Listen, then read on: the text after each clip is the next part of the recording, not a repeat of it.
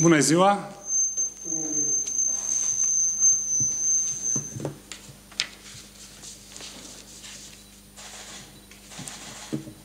Începem?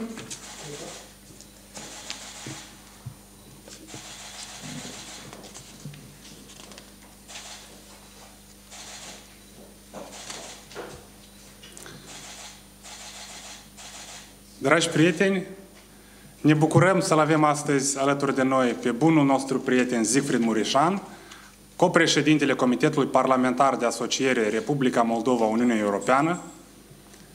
Domnul Mureșan, așa cum bine știe, fiecare cetățean al Republicii Moldova care are această năzuință de a vedea Republica Moldova cât mai aproape de Uniunea Europeană, cunoaște cât de apropiat și cât de mare promotor al parcursului european al Republicii Moldova este domnul Mureșan. Este unul din principalii promotori Republicii Moldova la Bruxelles, drept dovadă fiind și rezoluția Parlamentului European aprobată aproape în unanimitate acum o săptămână, sprijinită de practic toate grupurile mari din Parlamentul European, rezoluție în care Parlamentul European solicită cât se poate declar Comisiei Europene, Consiliului European, să ofere acel statut de țară candidată, acea perspectivă europeană a Republicii Moldova, pe care și-o doresc atât de mult cetățenii țării noastre. Domnul Mureșan a depus eforturi susținute pe parcursul anilor și mai cu seamă acum, când suntem atât de aproape, pentru a obține acest statut, lucru pentru care îi suntem recunoscători. Cu atât mai mult că în aceste zile trecem prin momente foarte complicate. Războiul din Ucraina, acea agresiune barbară împotriva unui stat suveran, a adus în prim plan toate vulnerabilitățile pe care le are Republica Moldova. Dar grație unor prieteni devotați, cum este domnul Mureșan, cum sunt prietenii noștri de la București, prietenii noștri din Parlamentul European, din capitalele europene, Republica Moldova are acum o șansă unică să facă pasul decisiv prin apropierea de Uniunea Europeană.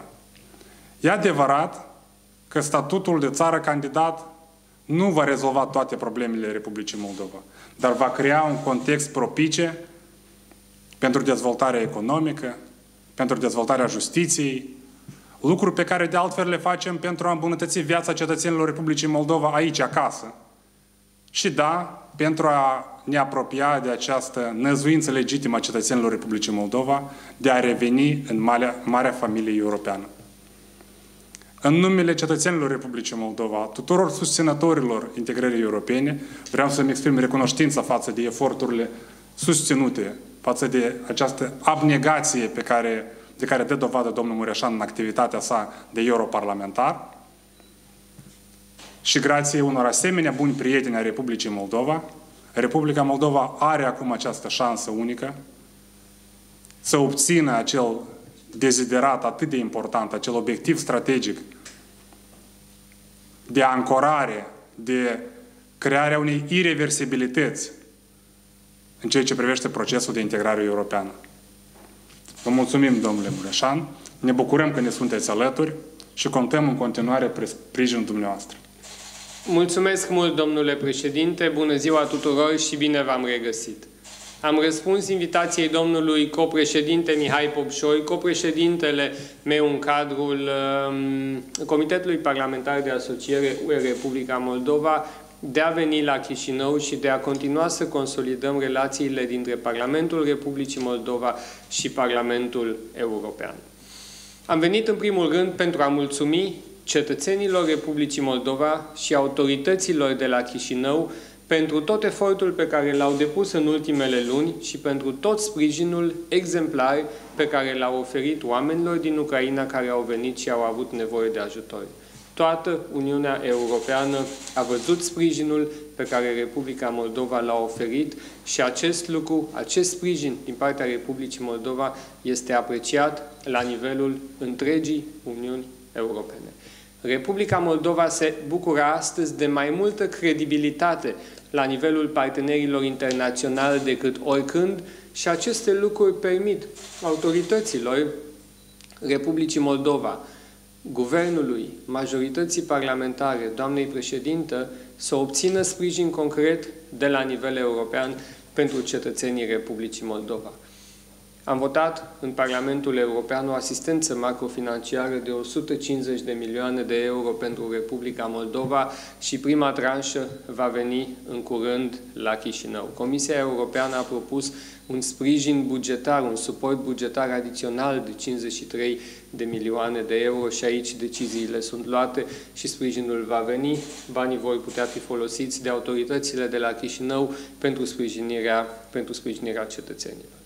Săptămâna trecută am votat în Parlamentul European cu majoritate largă cel mai ambițios document privind Republica Moldova adoptat vreodată de o instituție europeană.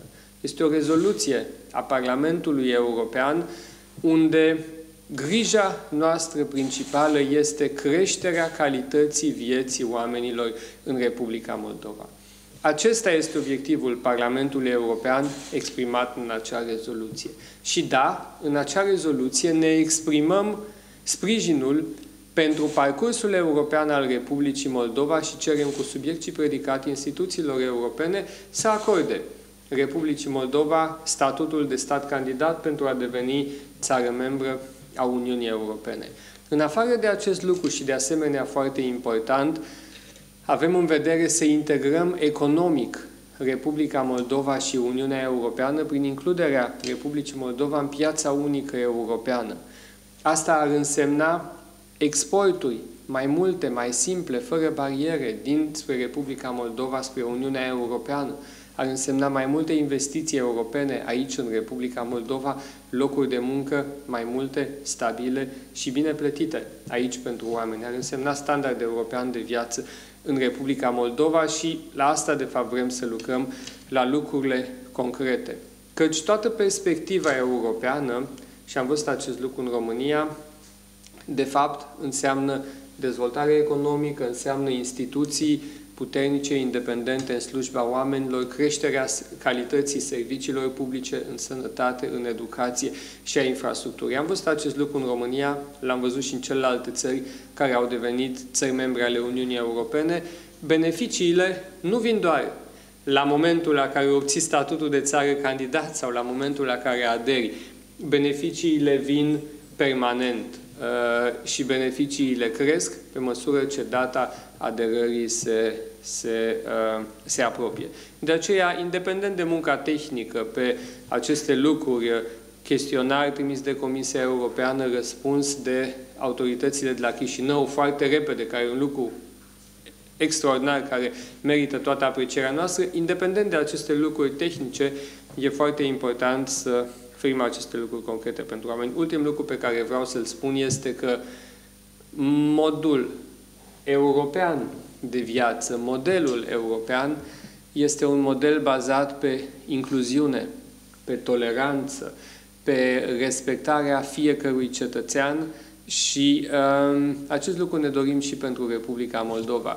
În timp ce vedem acum în Ucraina, modelul oferit de Federația Rusă este un model bazat pe agresiune, pe violență, pe intimidare, pe teamă. Modelul european este un model bazat pe incluziune, pe dezvoltarea fiecărui individ, pe pace, este un model orientat pe viitor și este un model în care toți cetățenii Republicii Moldova uh, se vor, se vor putea regăsi. Um, am revenit cu plăcere la Chișinău. Um, vreau să-i mulțumesc domnului președinte Popșoi, căci și rezoluția adoptată cu largă majoritate de Parlamentul European s-a născut pe baza documentului adoptat în Comitetul Parlamentar de Asociere pe care domnul președinte Popșoi și cu mine l-am condus la Strasburg la începutul lunii aprilie. Munca depusă de Mihai Popșoi, alături de ceilalți membri ai Parlamentului Republicii Moldova care s-au deplasat la Strasburg, a fost esențială pentru a facilita această rezoluție a Parlamentului European, care dă un impuls um, un impuls adițional agendei europene a Republicii Moldova. Răspundem cu plăcere întrebărilor dumneavoastră. Încă o dată, mulțumim mult că ați răspuns pozitiv invitației noastre de a veni la această conferință de presă. Scuze, Daniela Andreev, ProTV. Domnule Mureșan, am o întrebare către dumneavoastră, dar dumneavoastră, domnule Popșoi, dacă o să aveți ce completa, vă rog să interveniți. Care sunt șansele ca în iunie Republica Moldova să primească statutul de candidat la aderarea UE? și care, în opinia dumneavoastră, ar putea fi uh, scenariul de aderare a țării noastre și cât timp ar putea dura? Cel mai important lucru este că cetățenii Republicii Moldova s-au exprimat la ultimele alegeri, atât parlamentare cât și prezidențiale, în favoarea modernizării, reformării Republicii Moldova. Um, iar modernizare și reformare înseamnă, de fapt, tocmai ceea ce și Uniunea Europeană își dorește, de aceea considerăm că cererea de aderare la Uniunea Europeană depusă de autoritățile de la Chișinău se bucură de largul sprijin al, uh, al populației din Republica Moldova. Ce încerc să spun este următorul lucru. Procesul de aderare al Republicii Moldova la Uniunea Europeană a început. Există voință politică atât în Republica Moldova, cât și pe plan european. Cererea a fost depusă, Consiliul Uniunii Europene, în care sunt grupate toate cele 27 de state membre, a cerut Comisiei Europene imediat redactarea, efectuarea primilor pași, redactarea primului aviz. Comisia Europeană a transmis autorităților de la Chișinău un chestionar cu foarte multe întrebări de răspuns, iar autoritățile de la Chișinău au răspuns într-un timp record, de doar câteva săptămâni, întregului chestionar, primei și celei de-a doua părți. Și pentru acest lucru trebuie să felicit autoritățile de la Chișinău pentru faptul că s-au mobilizat exemplare și au oferit răspunsuri complete chestionarului european într-un timp record. Ehm, acum, acest chestionar va fi evaluat de Comisia Europeană și după aceea vom merge în etapele următoare. Ce vă pot spune este că vom merge cu siguranță în etapele următoare. Procesul de aderare a Republicii Moldova la Uniunea Europeană a început. Există voință de ambele părți. Ehm, Republica Moldova are perspectivă europeană. De îndată ce știm cât timp are nevoie Comisia Europeană de a evalua acest chestionar, vom ști și când se merge în următoarea etapă, când Republica Moldova primește statutul de țară candidat. Eu sunt sigur că Republica Moldova va primi acest statut într-un interval de timp, uh, uh, cred eu, um, nu foarte îndepărtată, dar nu putem da o dată la momentul de față. Ce va fi după aceea, cât vor dura, m-ați întrebat, negocierile, acest lucru uh, nu-l putem prezice în momentul de față, putem spune doar că procesul de aderare la Uniunea Europeană va depinde foarte mult și de ritmul reformelor la Chișinău. Și dacă Republica Moldova va fi bine guvernată în următorii ani, așa cum am văzut în ultimii ani, uh, cu agenda hotărâtă, așa cum am văzut în ultimele luni, repet, dacă Republica Moldova va fi bine guvernată în următorii ani, așa cum am văzut în ultimele luni, de la preluarea guvernării după alegerile parlamentare din iulie 2021, dacă Republica Moldova va fi bine condusă, dacă ritmul de reforme va fi unul susținut și ambițios, atunci procesul va fi unul mai, mai lin, mai lent. Ce e foarte important de știut este că pe toată durata procesului, chiar și înainte de finalizarea lui prin aderarea efectivă a Republicii Moldova la Uniunea Europeană, pe toată durata procesului vor exista beneficii pentru oameni, sprijin și Republica Moldova va începe să participe la tot mai multe proiecte europene și sprijinul european pentru fermieri, pentru studenți, pentru economie, pentru întreprinderi, eh, pentru infrastructură, pentru modernizarea justiției, va fi tot mai consistent. Așa a fost în România, așa va fi și în Republica Moldova.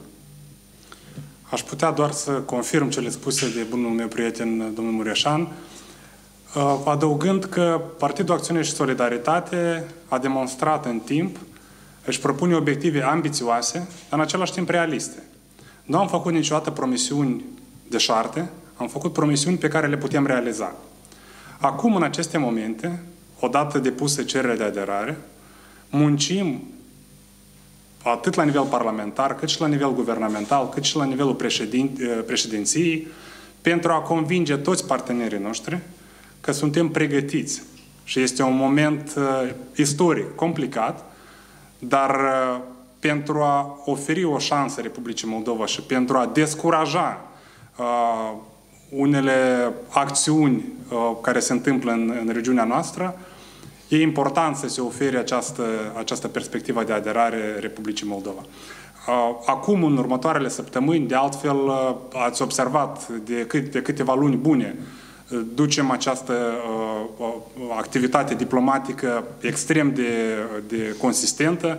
Bună oară, astăzi domnul uh, ministru de externe Popescu este în Germania la întâlnirea uh, ministrului de externe G7. Uh, în zilele următoare și doamna președinte și doamna prim-ministru uh, vor avea vizite importante pentru a ne asigura că apropiem cât se poate de mult această dată de obținerea statutului de, de țară candidat. E adevărat, nu avem garanții că lucrurile se vor întâmpla la o anumită dată, pentru că nu depinde doar de noi. Ceea ce vă putem spune, dragi cetățeni, este că noi, Partidul Acțiune și Solidaritate și bunii noștri prieteni și partenerii noștri fac tot ce este posibil pentru a apropia această dată. Iar odată obținut acest statut de țară candidat, va începe un proces destul de îndelungat, trebuie să fim realiști, complex, dar în egală măsură de productiv și important. Pentru că există deja deschiderea în rândul partenerilor noștri de la Bruxelles, odată ce vom deschide un capitol de negociere, vom finaliza acele negocieri în timp util, vom începe să beneficiem de pe urma acestor uh, capitole. De aceea este în primul rând în interesul nostru a Republicii Moldova să negociem cât se poate de calitativ, dar și într-un ritm destul de accelerat, așa încât cetățenii Republicii Moldova să se poată bucura cât mai repede de apropierea de marea familie europeană. Acest lucru se va întâmpla în scurt timp. Cu regret nu vă putem da o dată fixă, dar așa cum ziceam, Partidul Acțiune și Solidaritate a avut mereu o abordare responsabilă. Am făcut promisiuni pe care le putem realiza. Și de această dată va fi exact de această manieră. Vă mulțumesc! O altă întrebare este cum apreciați mersul reformei justiției de când uh, a fost demarată de ministrul justiției Litvinenko? Reforma justiției este unul din proiectele pe care oamenii în Republica Moldova, pe bună dreptate, le așteaptă. Domnia legii, stat de drept, înseamnă că toți oamenii care respectă legile nu au motiv a se teme, iar cei care au încălcat legi în viața lor vor fi trași la răspundere pentru greșelile pe care le-au făcut. Asta înseamnă stat de drept, asta înseamnă domnia legii și acest lucru este în folosul tuturor cetățenilor de bună credință. Căci dacă există corupție, victimă este întotdeauna omul, omul de rând. De aceea e clar că Republica Moldova are nevoie de reforma justiției, de întărirea independenței justiției. Acest proces a început și uh, l-am văzut în România. Uh, direcția e clară. Justiția se va întări, justiția va deveni independentă, statul de drept va funcționa, chiar dacă există și oameni în societate care se opun acestui proces. Vreau să fiu foarte clar, sunt absolut convins că în Republica Moldova justiția se va întări, va fi capabilă să-i tragă la răspundere pe cei vinovați într-un mod mult mai hotărât decât a uh, fost capabilă să o facă în trecut. Ei, și acest proces de reformare și de modernizare a justiției este un proces care trebuie să pornească cu legea în mână, um, instituțiile statului trebuie întărite, um, ele trebuie să fie puternice, independente, să-și poată îndeplini misiunea și legile țării, acolo unde este nevoie, trebuie să fie ajustate. Acesta este un proces care se întâmplă în parte la nivelul executivului, în parte la nivel parlamentar și evaluarea mea și evaluarea Parlamentului European, lucru uh, confirmat și în documentele adoptate de Parlamentul European, evaluarea noastră este că reforma justiției în Republica Moldova are loc acum, într-un ritm, într-un ritm susținut și sunt sigur că se vor găsi soluții bune în, în litera legii, în litera Constituției Republicii Moldova, dar cu obiectivul clar de a întări justiția, de a întări instituțiile judecătorești, procuratura, astfel încât ele să-și îndeplinească misiunea pe care o au în societate este legată de războiul din țara vecină. Cu siguranță ați văzut și știți despre tensiunile care au loc în ultima perioadă în regiunea transnistreană. Întrebarea mea este ce poate să facă UE pentru țara noastră în cazul în care războiul din Ucraina se extinde și ajunge până în regiunea transnistreană? Și ce poate face România, țara vecină, care este și stat NATO? Nu fiți îngrijorați. Nu aș specula cu privire la extinderea acestui conflict militar. Ce este foarte important este ca uh, noi să oferim tot sprijinul pe care îl putem oferi uh, oamenilor din Ucraina. Republica Moldova a făcut foarte multe pentru cetățenii ucraineni. Sprijinul umanitar oferit este foarte consistent. La nivelul Uniunii Europene ne preocupă să rămânem uniți, să oferim sprijin maximal Ucrainei și să impunem de la nivel european alături de partenerii noștri internaționali sancțiuni Federației Ruse care să oprească această invazie ilegitimă Uh, și nejustificată a Federației Ruse. Nu aș specula cu privire la extinderea războiului. Obiectivul trebuie să fie ca această agresiune să um, înceteze um, și uh, agresorul să uh, oprească această, această agresiune. Ca atare, cred că e foarte important să ne păstrăm calmul. Nu există semnale de îngrijorare în momentul de față. Oamenii trebuie să știe că um, calmul și mintea limpede sunt lucrurile cele mai importante în momentul de față și Republica Moldova um, a fost sprijinită în ultimele săptămâni și va fi sprijinită acolo unde acest lucru este necesar și acolo unde Republica Moldova își dorește acest uh, lucru și uh, unde Republica Moldova însă își spune că sprijinul este binevenit. Așa este. Vă mulțumim! Mulțumim mult! O zi bună, la revedere! La revedere!